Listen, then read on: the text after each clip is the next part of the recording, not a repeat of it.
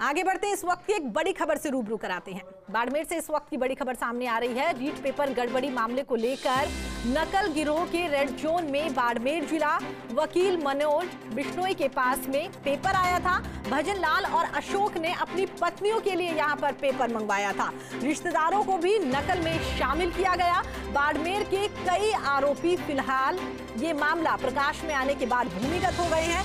बंद कमरे में नेटवर्क बनाकर रात में दो घंटे तक पेपर रटाया गया। सुबह परीक्षा दिलाई गई। पेपर रटने के बाहरी जिलों के कई अभ्यर्थी भी बाड़मेर पहुँचे।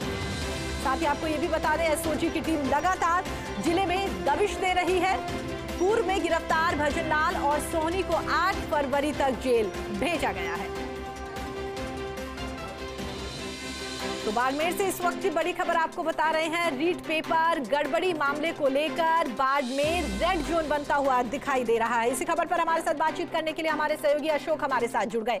अशोक, कह सकते हैं कि पहले शुरुआत राजधानी जयपुर से हुई, उसके बाद में राजस्थान के तमाम ऐसे ज़िले हैं जहाँ से लगातार रीट परीक्षा में धांधली को लेकर लोगों की गिरफ्तारियाँ हो रही है। जी, निश्चित रूप से प्रीति, जो रीट पेपर लीक प्रकरण है उसके चींटे राजस्थान से शुरू राजधानी से शुरू होकर पश्चिमी राजस्थान के बाड़मेर ज़िले तक पहुँच चुके हैं। और एसओजी की टीम है पिछले तीन चार दिन से लगातार ज़िले में अलग अलग जगहों पर दबिशें दे रही है।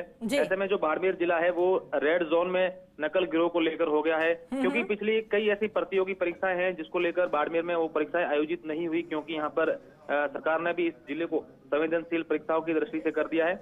और अगर इस पेपर लीक प्रकरण की बात करें तो ऐसी जानकारी सामने आई है कि जो बाड़मेर का वकील है जिसका नाम मनोज विष्णोई बताया जा रहा है उसके पास पेपर आया था और उसने भजन लाल और एक अशोक जाने नाम करके एक अलग एक व्यक्ति है उनको पेपर दिया था उन्होंने अपनी पत्नियों के लिए पेपर ये खरीदे थे और उसके बाद उन्हीं पेपरों को रिश्तेदारों को भी उस पेपर में नकल में शामिल करवाया था और ठीक है अशोक इस पूरी खबर पर आप अपनी नज़र बनाए रखेगा